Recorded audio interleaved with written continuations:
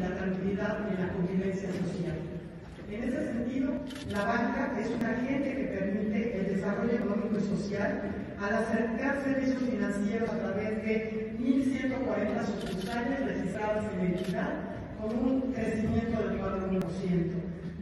El sector bancario de Puebla genera 9.150 empleos y representa producción bruta total de 4.803 millones de pesos. En los últimos tres años y al primer trimestre del 2022, la banca suma inversión extranjera directa de 420 millones de dólares procedentes de España, Estados Unidos, Canadá, Reino Unido y Suiza, reflejo de la confianza del Estado del pueblo. Hoy establecemos el canal de diálogo